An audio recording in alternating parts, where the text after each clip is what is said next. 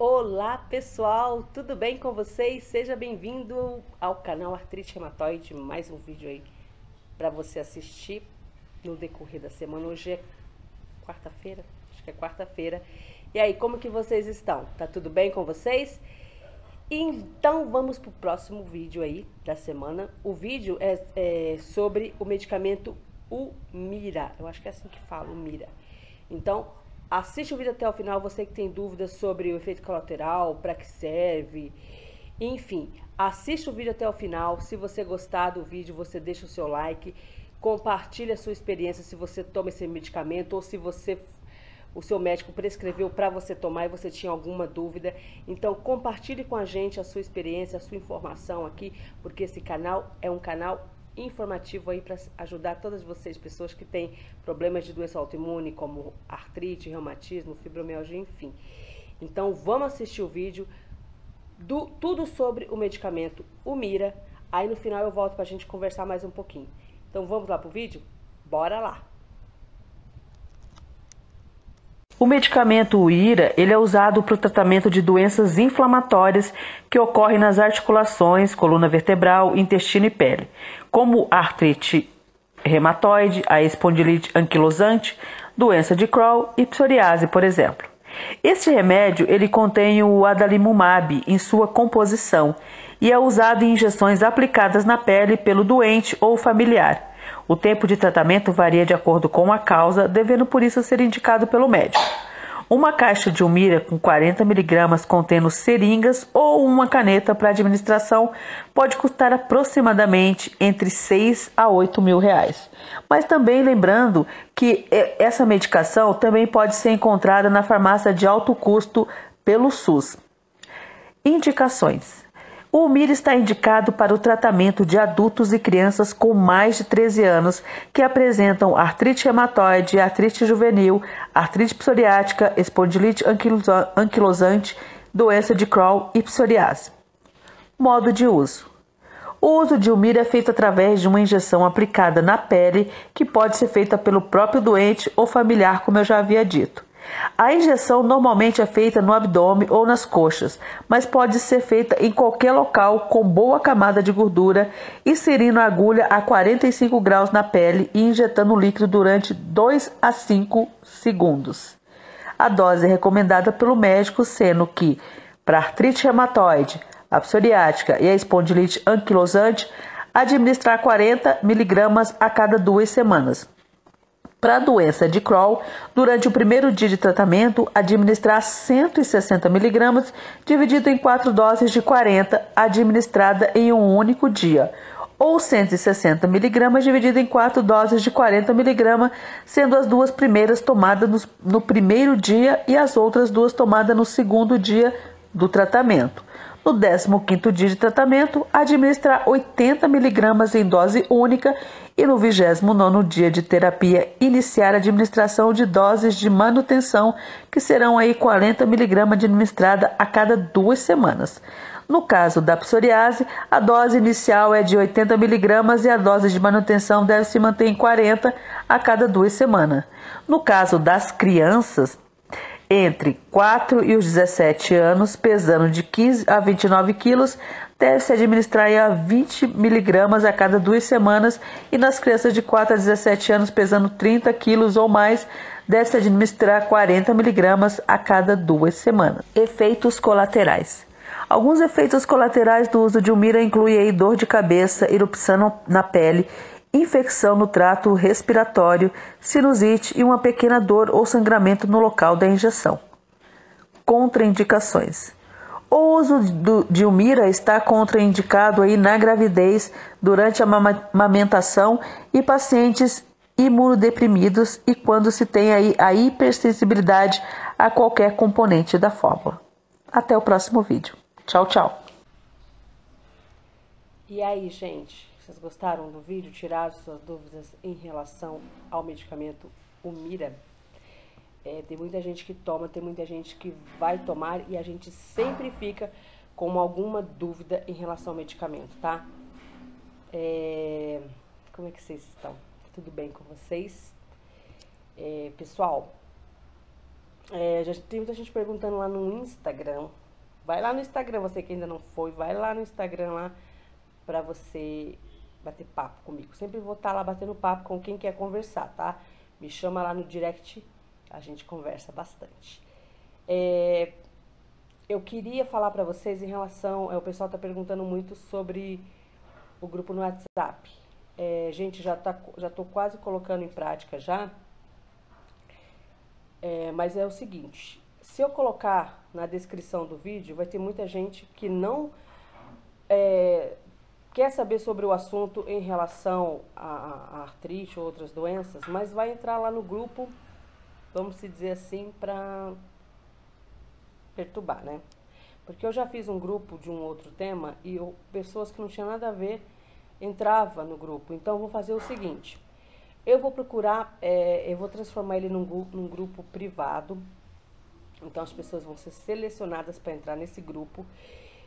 Você vai me chamar lá no direct do Instagram e eu vou passar para você o link de convite para você estar tá entrando no nosso grupo no WhatsApp. Ai, gente, esse barulho foi o barulho do vento na porta do quarto tá? Desculpa o barulho. Então, aí se você for querer participar, você vai lá no Instagram, que eu vou passar o, o link do convite para você estar tá entrando no grupo. Eu vou tentar formar esse grupo essa semana ainda, tá? No decorrer aí eu vou avisando vocês. Mas eu vou, eu vou, você entra lá, vai lá no Instagram, segue lá o Instagram do Artrite Reumatoide, que eu vou passar o link de convite para você estar tá entrando no grupo do WhatsApp tá? Esse grupo, gente, é para a gente compartilhar informações, dúvidas, para você pedir algum vídeo mais detalhado no canal, para você interagir com as redes sociais em geral do artrite reumatoide, tá bom? Então, eu vou fazer o link do convite, vou deixar lá no Instagram. Aí você entra lá no Instagram, segue o Instagram que eu vou passar o link de convite. Eu não vou deixar na descrição do vídeo, gente, porque pessoas que não vai estar tá interessadas, pessoas que não têm os nossos problemas de doença autoimune, vai entrar lá para perturbar. Eu sei por experiência própria, porque eu já fiz um grupo é, para emagrecimento, tá? Ajudando assim, e pessoas entram lá para oferecer medicamentos para emagrecer, para oferecer coisas que não, não é, é, é da índole do, do, grupo, né? Porque eu tenho um grupo de emagrecimento que a gente passa é, dicas de, de, de receita detox, de comidas saudáveis. E aí, para mim não deixar o grupo assim, só eu postando, né?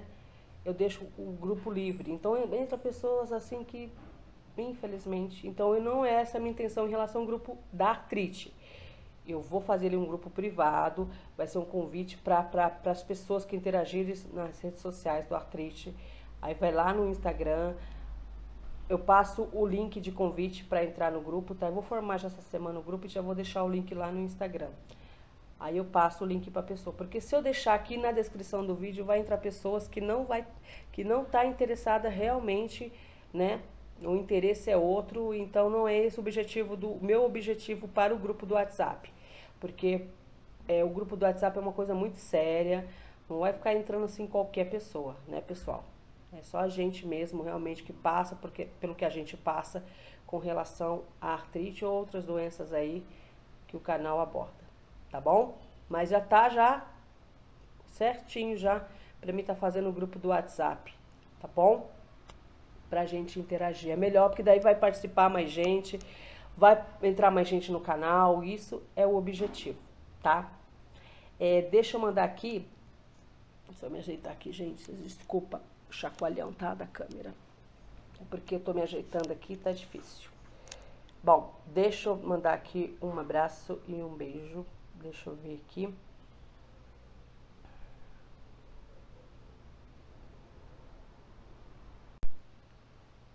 Então, gente, é isso aí. Eu vou tentar colocar em prática, então, esse é o grupo do WhatsApp ainda essa semana, tá? Então, se você tiver interessado aí para entrar no grupo, vai lá no direct, no direct do Instagram, manda mensagem que eu mando o link do convite, tá? Essa semana eu já vou montar o grupo, gente. Quero mandar um abraço e um beijo para Elisete Sales. Elisete, tudo bem com você? Tudo legal? Ela tá falando, bom dia, Renata. Bom dia. Ela falou, olha, eu tenho artrite reumatoide, fibromialgia eu sinto muitas dores mesmo tomando os remédios, estava recebendo auxílio doença, fiz uma nova perícia no INSS e foi negado. Como isso pode acontecer? O médico nem me examinou, mal olhou meus exames, estou indignada e muito triste. Infelizmente, isso acontece mesmo, Elisete. Tem muitos peritos que eles nem olham na sua cara. Já aconteceu comigo várias vezes de eu entrar e nem olhar mesmo. É uma coisa bem humilhante, né? Infelizmente. Mas não desiste não, Elisete. Recorre e tenta que você vai conseguir de novo, né? Porque como que a pessoa, a gente que sofre com tudo isso aí vai conseguir trabalhar, né? Não tem condição. Infelizmente, não tem condição.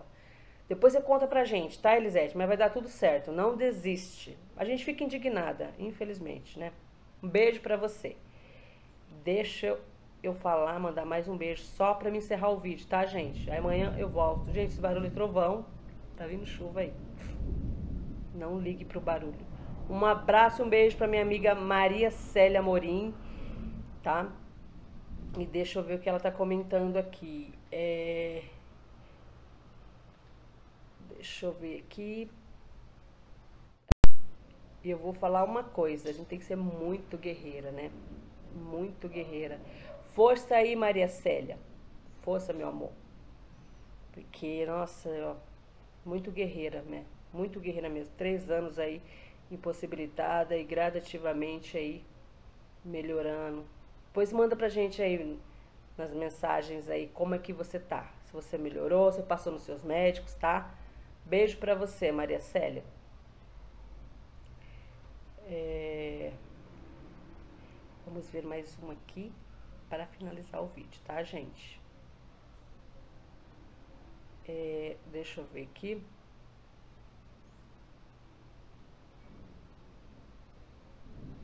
A... É incrível, né? Cada hora é uma coisa, né? Melhoras para você, Rosiane. Beijos, tá? Pois deixa aqui nos comentários como que você está. Gente, é isso. Amanhã eu volto com mais um vídeo. Deixe nos comentários o que você achou, se você gostou, se você chegou agora no canal, tá gostando, aproveita para se inscrever, tem muito vídeo informativo aqui no canal, tenho certeza que você vai gostar, que você vai se informar bastante. Lembrando sempre que esse vídeo não vai substituir a sua consulta com o reumatologista e nem os seus medicamentos, tá bom? Compartilhe com a gente aqui nos comentários a sua experiência, as suas informações e seja muito bem-vindo, muito bem-vinda. E até o próximo Artrite Reumatoide Muito Além das Juntas, eu volto amanhã. Tchau, gente. Beijo. Fui.